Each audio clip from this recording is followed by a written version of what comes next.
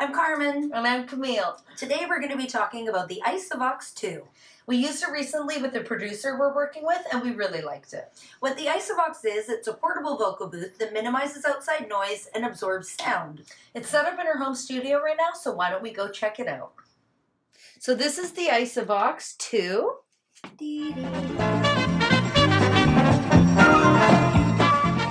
Is a pretty substantial piece of equipment. It does take a little bit of time to assemble. It comes all separated in panels, but it's doable. You know, we, we did it, so so anyone could do it. a couple cool features. Camille fits nicely in here. and there's a little light there. Yeah, so you can turn this on. So if you want, once it, you get in there, it is quite dark. So the light really lights things up. And then you can use an iPad or a phone. It can fit comfortably back there if you don't know your lyrics. This is the photo and video feature where you can get in here and get some good pictures and stuff too. So that's pretty cool in today's day and age.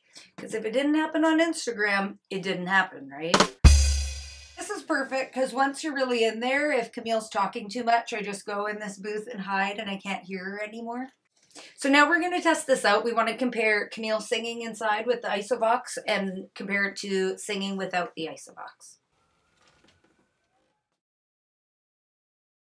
Find a way to make it better when we do it again. I know won't go without feeling, won't stop. We live and breathe it. Find Find a way to make it better when we do it again. I know won't go without feeling, won't stop. We live and breathe it. Find a As you can hear, the IsoVox does make a difference, especially if you're recording at home or in a space where you can't control the noise factor.